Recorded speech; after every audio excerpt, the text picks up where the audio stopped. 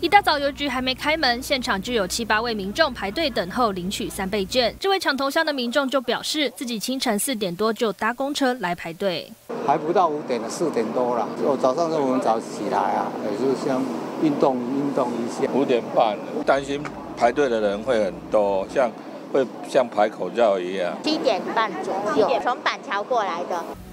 八点半一到，民众陆续进入邮局领券。不少民众领完后都表示，领取流程顺利，前后差不多两分钟。当然拿到了，当然好啊，大概都两分钟左右。拿在手上很实在啊。局的动线算是流畅吗？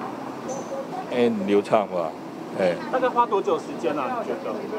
还不到一分钟嘛。很开心，很很实在，就觉得谢谢政府的措施，是会拿来呃拿来购买一些消耗品，生活的消耗品。今天七月十五号到年底十二月三十一号，有长达五个半月的时间哦，请大家在这炎热的夏天，平常可以尽早早一点凉快的时段来。